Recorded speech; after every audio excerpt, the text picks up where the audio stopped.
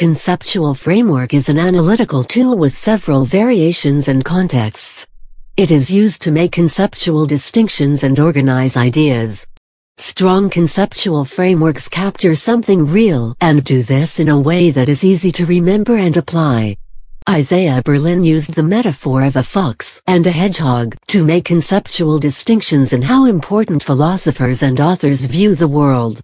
Berlin describes hedgehogs as those who use a single idea or organizing principle to view the world, such as Dante Alighieri, Blaise Pascal, Fyodor Dostoevsky, Plato, Henrik Ibsen and Georg Wilhelm Friedrich Hegel.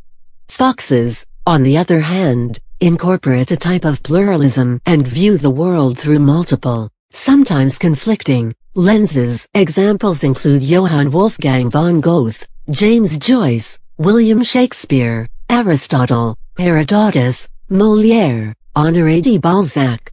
Economists use the conceptual framework of supply and demand to distinguish between the behavior and incentive systems of firms and consumers. Like many conceptual frameworks, supply and demand can be presented through visual or graphical representations. The use of the term conceptual framework crosses both scale, large and small theories, and contexts, social science, marketing, applied science, art etc. Its explicit definition and application can therefore vary. Conceptual frameworks are particularly useful as organizing devices in empirical research. One set of scholars has applied the notion of conceptual framework to deductive, empirical research at the micro or individual study level.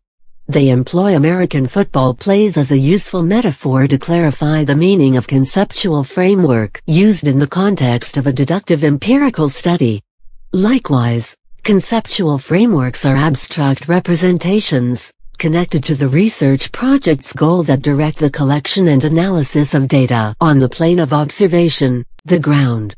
Critically, a football play is a plan of action tied to a particular, timely, purpose, usually summarizes long or short yardage.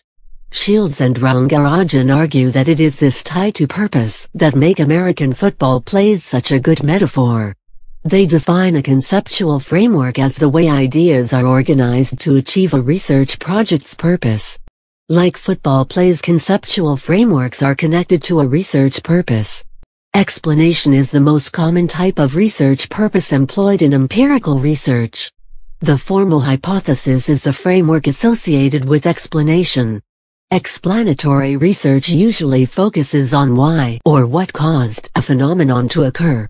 Formal hypotheses posit possible explanations, answers to the why question, that are tested by collecting data and assessing the evidence, usually quantitative using statistical tests. For example, Kai Huang wanted to determine what factors contributed to residential fires in U.S. cities. Three factors were posited to influence residential fires. These factors, environment, population and building characteristics became the hypotheses or conceptual framework he used to achieve his purpose, explain factors that influenced home fires in U.S. cities.